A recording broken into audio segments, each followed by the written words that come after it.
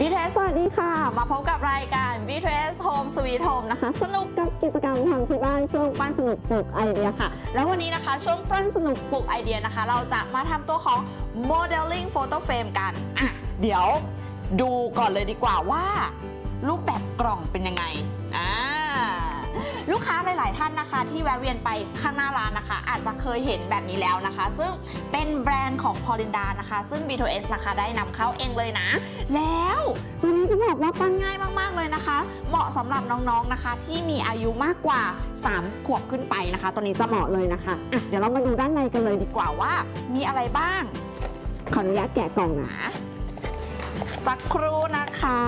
น้องๆคนไหนที่ชอบปั้นอยู่แล้วนะคะ หรือว่าจริงๆจะเป็นในการเริ่มต้นของการปั้นนะคะ ก็สามารถที่จะเริ่มต้นจากตัวนี้ก่อนได้นะคะ เพราะว่าน้องๆ บางคนยังยังปั้นอ๋อแล้วแล้วมือยังไม่แข็งแรงแล้วแต่ว่าแบบตัวเนี้ยค่ะจะตอบโจทย์มากเลยนะคะ ข้างในกล่อง จริงๆ เขาจะมีบอกอยู่ข้างกล่องอยู่แล้วนะคะ ว่าข้างในกล่องจะมีอะไรบ้างนะคะ ไม่ว่าจะเป็นตัวของดินโฟมนะคะ ตัวของเฟรมนะคะ หรือว่าจะเป็นตัวของไม้แบบนี้นะคะ ที่เป็นอุปกรณ์นะคะการเขาเรียกว่าการกดเนาะแล้วแล้วการกดดินโฟมนะคะ ตัวนี้ก็จะสะดวกนะคะ แล้วก็ปลายตัวนี้คุณพ่อคุณแม่หมดห่วงได้เลยนะคะ เป็นปลายทื่อนะคะ ไม่ทิ่มน้องๆ อย่างแน่นอนอะเดี๋ยวเรามาแกะอุปกรณ์กันเลยดีกว่าข้างในมีอะไรบ้างนะข้างในมี frame ค่ะเขาจะหัวว่าเป็น photo frame ใช่ไหมคะ เพราะฉะนั้นก็คือก็ต้องมี frame อันนี้แบบมุกนะมุกมุกมุกอะต่อมาเดี๋ยวแกะตัวนี้หน่อยดีกว่า แกะดินโฟมแกะดินโฟม แกะดินโฟมก่อน ตัวนี้คือเขาจะมีตามสีตัวของหน้ากล่องเลยนะคะอะเดี๋ยวตั้งโชว์หน้ากล่องหน่อยดีกว่าว่าหน้ากล่องเป็นยังไงอะในซีรีส์นี้นะคะจริงๆจะมีอยู่ทั้งหมด 4 แบบนะคะ จะเป็นตัวของเต่าทองยีราฟนะครับ แล้วก็เป็นตัวของกบนะคะ ส่วนอีกตัวหนึงจะเป็นกระต่ายนะคะ ก็จะคลาคละกันไปนะคะ หรือว่าใครที่อยากสะสมเป็นซีรีส์นะคะ ก็สามารถเก็บสะสมได้เลยนะ ที่ร้าน B2S นะคะจะมีขายทุกตัวเลยอะ เรามาดูกันดีกว่าว่าจะง่ายแค่ไหน อันแรกนะคะเขาบอกว่าตัวนี้อุ๊ยขอโทษค่ะ อันแรกนะคะเขาบอกว่าตัวเนี้ยเป็นเต่าทองใช่ไหมแบบเพราะฉะนั้นกรอบตัวเนี้ยค่ะจะต้องเป็นสีแดงง่ายมากเลยค่ะ เราก็เอาสีแดงมา หยิบกระปุกสีแดงปุ๊บเสร็จ เวลาที่น้องๆปั้นนะคะ ก่อนการปั้นนะเดี๋ยวให้น้องๆล้างมือก่อนนะคะ เพื่อความสะอาดเนาะอะแบบเราจะหยิบสักแค่นี้พอนะคะ หรือว่าอาจจะหยิบเล็กกว่านี้นะคะ ให้พอดีกับมือของน้องๆนะคะ เสร็จแล้วให้ปั้นเป็นกลมๆแบบนี้นะคะ อาจจะไม่ต้องแบบเนียนมากนะแล้วเราก็กดไปนิดนึง กดปุ๊บแล้วเราก็จะแปะ แปะไปบนตัวเต่าทองนะคะ โดยใช้ไม้ตัวนี้นะคะ แปะลงไปแบบนี้ค่อยๆนะคะ หรือว่าถ้าเกิดว่าใครสะดวกนะคะจะใช้มือก็ได้นะคะ มือตัวนี้นะคะ ค่อยๆ เกี่ยไปนะคะ ตามขอบอ่า ถ้าเกิดว่าดูปุ๊บตัวของดินโฟมตัวนี้นะคะ สมมติว่าถ้าเกิดว่าแปะไว้นะ สักพักหนึ่งนะคะ ประมาณ 2 ชั่วโมงนะคะแล้วดินจะเริ่มแห้งนะคะแบบพอเริ่มแห้งเสร็จใช่ไหมคะสมมุติว่าถ้าเกิดว่าเราเอาน้ำมาโดนนะคะ ตัวนี้มันจะเออจะเหลวเหมือนเดิมนะคะ เราก็สามารถนำกลับมาปั้นได้เหมือนเดิมนะคะอะ ถ้าเกิดว่าดูปุ๊บเห็นไหมคะว่าจะติดเลย เพราะว่าที่ติดเนี่ยคือเนื่องด้วยเขามีส่วนผสมของกาวนะคะ แต่ตัวนี้คุณพ่อคุณแม่ไม่ต้องเป็นห่วงเลยนะ เพราะว่า Paulinda เขาเคลมว่า non-toxic อย่างแน่นอนนะคะ อืมอะแล้วเราก็บีบีบีไปแบบนี้ปึ๊บปึ๊บปึ๊บปึ๊บปึ๊บปึ๊บอ่าเสร็จเรียบร้อยนะคะ พอบีเสร็จปุ๊บตัวนี้จริงๆ เราไม่ต้องเอาตามสีก็ได้นะคะ เราอาจจะเลือกแบบว่า อาจจะเป็นสีเหลืองหรือว่าอาจจะเป็นสีดำนะคะ แล้วแต่ตามที่น้องๆชอบได้เลยอะตัวนี้เสร็จเรียบร้อยนะคะ แล้วเราก็ค่อยๆทำไปอะเดี๋ยวปั้นก่อนปั้นปึ๊บปึ๊บปึ๊บแล้วก็กดนะ ถ้าเกิดว่าเป็นกลมๆแบบเนี้ยค่ะ จะดูแบบว่าซอกแซกไปนิดนึงเนาะเราสามารถที่จะแปะทับไปได้เลยนะคะ แปะทับไปก่อนนะคะ แล้วเดี๋ยวเราค่อยมาแปะลายตามหลังนะคะ เพราะว่าถ้าเกิดว่าเราซอกแซกเยอะเกินไปน้องๆ อาจจะเออเอาไม่สะดวกนะคะ ในการแปะอะเดี๋ยวเราแปะไปนิดนึงก่อน ขออนุญาตแปะนิดนึงนะคะ เราไม่ต้องเอาหนามากเนาะเอาบางๆก็พอนะคะ เพราะว่าจะได้แห้งเร็วๆอืมตัวนี้นะคะ ประโยชน์ของการปั้นดินหรือว่าอ่อการทำกิจกรรมในรูปแบบของดินโฟมแบบนี้นะคะ จะช่วยให้น้องๆเนี่ย สมาธิได้เป็นอย่างดีเลยนะคะแล้วก็จะเป็นการเริ่มต้นความคิดสร้างสรรค์ของน้องๆด้วยนะคะอะเดี๋ยวเราก็แปะไปเรื่อยๆอ่าโอเคนะอะสมมติว่า เดี๋ยวขออนุญาตนิดนึงนะคะ ตรงนี้รู้สึกแปะผิด ตัวนี้ต้องเป็นสีดำใช่ไหมเราก็ลอกออกมาเลย สมมติว่าถ้าเกิดว่าแปะผิดอะเดี๋ยวขออนุญาตลอกก่อนแปะผิดไปนิดนึงเดี๋ยวเราแปะทับได้เลยนะคะอะ ตรงนี้ขออนุญาตแปะก่อน จริงๆ พอลินดาเขาจะมีหลากหลายซีรีส์เลยนะคะ อย่างตัวของเอ่อโมเดลลิ่งนะ แล้วอีกอันหนึงนะคะ ก็คือเขาจะมีตัวของโมเดลมาให้นะคะ ไม่แน่ใจว่ามีลูกค้าท่านไหนนะคะ ซื้อไปแล้วแล้วยังทำไม่เป็นหรือเปล่านะคะ จริงๆ สามารถทิ้งคอมเมนต์ไว้ทางด้านล่างได้เลยนะคะ แล้วก็ถ่ายรูปมาได้นะ แล้วเดี๋ยวเราจะตอบให้นะคะ หรือว่าในคลิปหน้านะคะ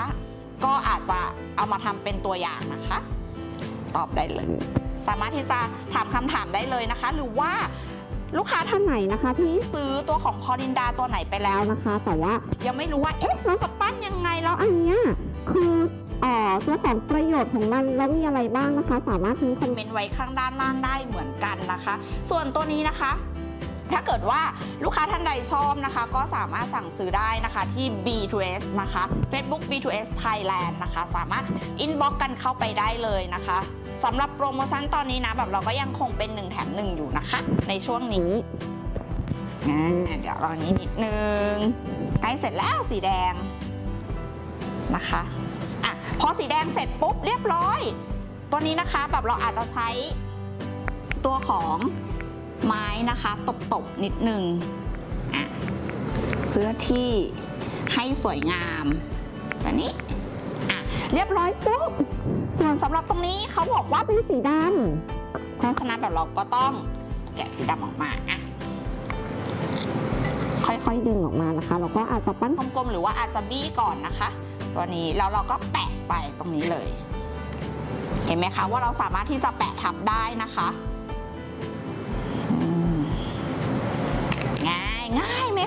ตัวนี้คือง่ายมากเลยนะเหมาะมาก ๆ เลยนะคะที่สำหรับน้องๆนะที่จะฝึกนะคะ เป็นพื้นฐานในการเริ่มการปั้นนะคะ แปะก่อนแปะก่อน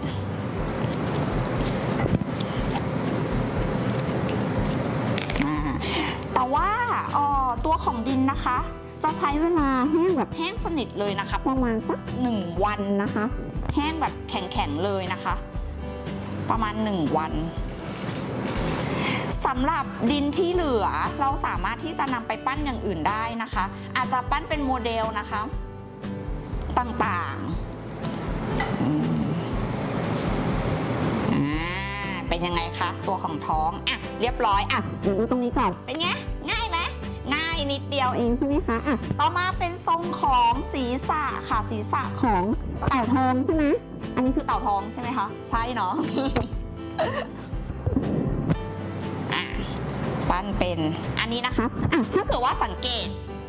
รูปตาตัวนี้เห็นไหมคะ ลูกตาตัวนี้คือจริงๆอะเราสามารถที่จะแปะไปได้เลยนะคะ เพราะว่าเขามีตามาให้อยู่แล้ว แต่ว่าแบบตัวนี้เขาทำมาเพื่อให้เราได้กะถูกว่า อ๋อโอเค พอเราแปะสีดำทับไปปุ๊บเนี่ยแล้วดวงตาของน้องเขาจะอยู่ตรงไหน เพราะฉะนั้นนะคะตัวนี้ก็ทำตามขั้นตอนนะคะ แปะไปได้เลย พอแปะปุ๊บ เราอาจจะใช้ตัวนี้นะคะ ตัวของไม้นะคะตบๆเข้ามานิดนึง เพื่อที่จะให้อะเพื่อที่จะให้ดูแบบเป็นสามเหลี่ยมนิดนึงนะคะ เห็นไหมไม่ยากเลยนี่ค่ะแล้วก็แปะแปะแปะแปะไปนิดนึงอืมก็เสริมมานิดนึงนะคะอืม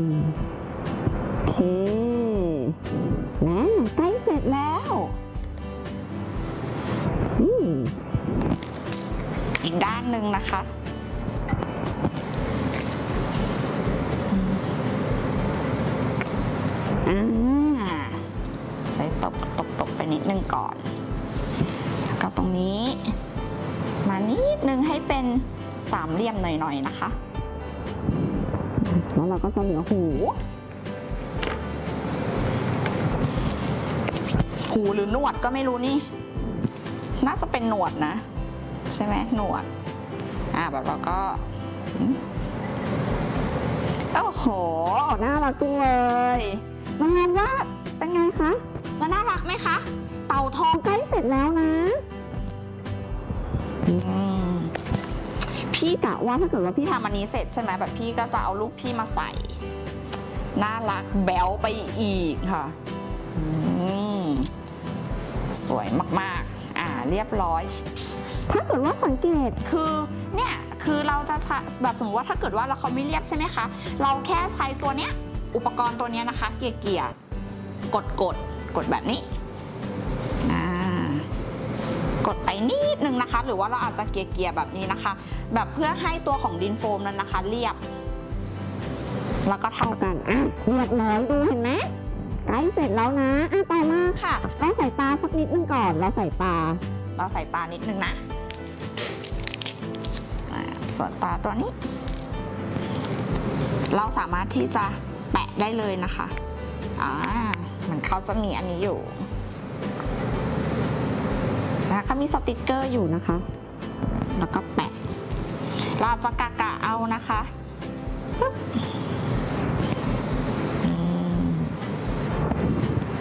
ปึ๊บแล้วก็แปะเห็นไหมใกล้เสร็จแล้วนะคะ ต่อมาค่ะขั้นตอนต่อตอไปคือการทำลายลาย การทำลายตัวนี้นะคะ ถ้าเกิดว่าเห็นตรงข้างด้านหน้ากล่องนะคะ เราเพียงแค่ปั้นกลมๆ เท่านั้นเองจริงแบบเราไม่ต้องทำ เขาเป๊ะๆก็ได้นะคะ จริงๆจะแล้วแต่ว่าน้องๆอะอยากจะแปะตรงไหนนะคะ หรือว่าตัวของฐานตัวกลมๆตัวของลายอะค่ะ จริงๆไอในรูปคือเขาเป็นสีเหลืองใช่ไหมคะแต่ว่าแบบน้องน้องๆเขาอาจจะอยากเปลี่ยนว่าอ๋อโอเคอ๋อพื้นๆเลยอาจจะเป็นสีดำไหมแล้วก็ตัวของจุดๆที่อยู่ด้านบนนะคะ อาจจะเป็นสีแดงอะไรแบบนี้ค่ะ แล้วแต่ได้เลยนะคะ แล้วแต่จินตนาการของเรา เราก็จะแปะไป อันนี้เดี๋ยวทำตามตัวอย่างนะ แปะแปะแปะปุ๊บง่ายนิดเดียวเองค่ะ ตัวนี้เป็นการปั้นพื้นฐานของน้องๆเลยนะคะ จริงๆ จะมีอีกตัวหนึ่งนะคะ ที่เป็นดินเบาอะมีลูกค้าสงสัยว่าดินเบากับดินโฟมอะทำไมถึงต่างกัน จะจริง ๆ จะต่างกันแค่ตัว texture นะคะตัวของดินโฟมอะจะเป็นตัวของโฟมแบบนี้เลยนะคะ ส่วนของดินเบานะคะ แบบพื้นเขาจะเรียบนะคะ แล้วก็ จะค่อนข้างเบาเวเวลาลาที่แห้งแล้วก็คือจะเบาเลยนะคะ แต่ว่าเหมือนกันค่ะค่ะ คล้ายๆ กันเลยแต่เพียงแต่ว่าแบบ texture ของเขาจะไม่เหมือนกันนะคะ เวลาที่แห้งเราก็จะแข็งเหมือนกันสามารถที่จะจะนำมาปั้นเป็นโมเดลได้นะคะอะเดี๋ยวเราใส่นิดนึงอ่าอันนี้ก็คือลายแล้วนะคะ เดี๋ยวพี่เมย์เอาเป็นลายข้างนี้นะ แล้วข้างนี้สองแล้วก็ก็ข้างนี้ 3 นะคะ สวยไหมสวยใช่ไหมคะอะต่อมาค่ะเป็นจุด เดี๋ยวพี่เมย์ทำจุดก่อน จุดแบบเราอาจจะทำเล็กๆ เราอาจจะไม่ทำเยอะนะทำเล็กก่อนอะแล้วเราก็แปะเข้าไปแบบนี้ อืมเสร็จปุ๊บเห็นไหมคะ ง่ายมากเลย คุณพ่อคุณแม่นะคะเราสามารถช่วยน้องทำได้นะคะปุ๊บตอนอ่า